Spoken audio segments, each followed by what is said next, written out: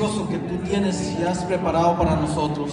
Sabemos, Señor, que tú tienes algo especial en esta tarde. Sabemos, Señor, que algo grande va a pasar y que no nos iremos iguales, papá. Aquí estamos.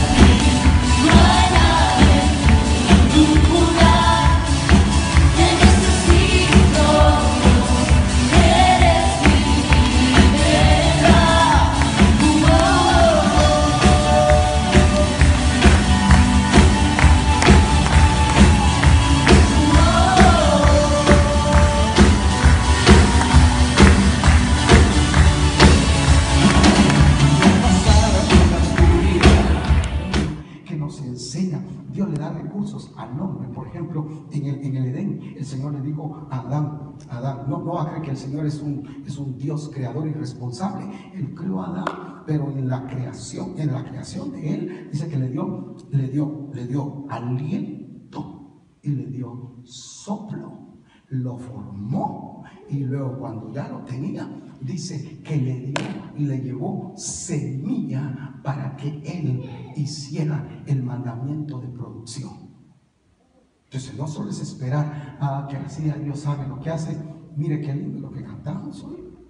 Jehová Jireh, Jehová mi provisión. Pero cuando hablamos de provisión, inmediatamente pensamos en, en- el asunto materia o material. No, momento. Cuando la Biblia dice Jehová Jireh, provisión, hay un PR, PR es un prefijo, pro, visión, que significa visión para caminar en un proyecto y hacerlo correctamente.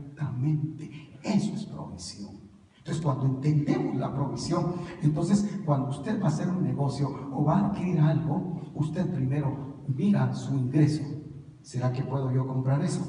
Pero a veces nosotros compramos, hacemos cosas y después nos vemos que le quitamos el pan a nuestros hijos, le quitamos la vestimenta a la esposa, le quitamos, le quitamos las prioridades.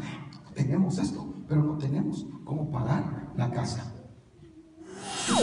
Dentro del plan o la planificación está la decisión sobre los objetivos que nosotros vamos a tener en cuanto al presupuesto o en cuanto al plan de economía para nuestra familia.